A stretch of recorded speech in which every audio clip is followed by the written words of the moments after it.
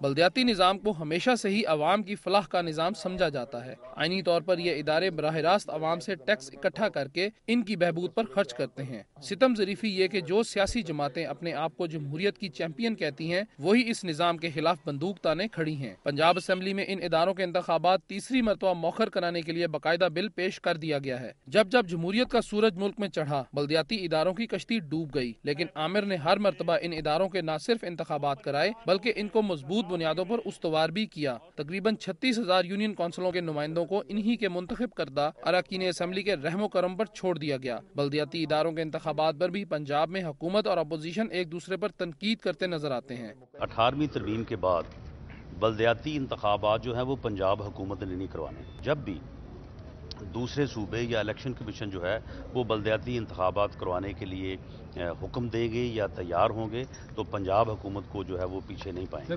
صوبے کی سابق حکمران جماعت کے رہنما بھی اس بات پر متفق ہے کہ موجودہ حکومت کبھی بھی بلدیاتی انتخابات نہیں کرائے گی۔ ایک سو آٹھ ایڈمنسٹریٹر کے حوالے کر دیا اربوں روپیہ۔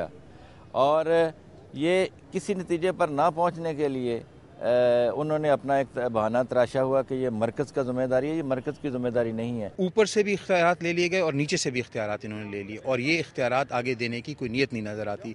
سابق ناظمین کا کہنا ہے کہ صوبائی حکومت ان پر کرپشن تو ثابت نہیں کر سکی، لیکن کیونکہ بلدیاتی اداروں کے بعد اراکین اسمبلی کی چدراہٹ قائم نہیں رہتی، اس لیے وہ ان اداروں کے حق میں نہیں۔ موجودہ سیاسی سیٹ اپس ہیں، یہ کسی صورت میں بھی مقامی حکومتوں کے انتخابات نہیں کروائیں گے، اور نہ ہی ان کی کبھی یہ خواہش ہے کہ عوام کے مسائل ان کی دلیز پر حل ہو۔ ان اداروں کی غیر موجودگی میں جو ٹیکس اکٹھا کیا جا رہا ہے، اس کی کیا آئینی حیثیت ہے؟ یہ ایک سوالیہ نشان ہے، لیکن ملک کی دونوں بڑی سیاسی جماعتیں انتخابات کی تیاری تو کر رہی ہیں، لیکن بلدیاتی نہیں، بلکہ عام انتخابات کے لیے جوڑ توڑ شروع ہو چکا ہے۔ بلدیاتی اداروں کو جمہوریت کی نرسری کہا جاتا ہے، مگر دلچسپ امر یہ ہے کہ جمہوریت کی دعوے دار سیاسی جماعتیں اپنے اختیارات نچلی سطح پر منتقل ہونے کے خوف سے انہی اداروں کے انتخابات کرانے سے کترا رہی ہیں۔ کیمرامین اسخر علی کے ساتھ ارسلان رفیق بھٹی دنیا نیوز لاہور۔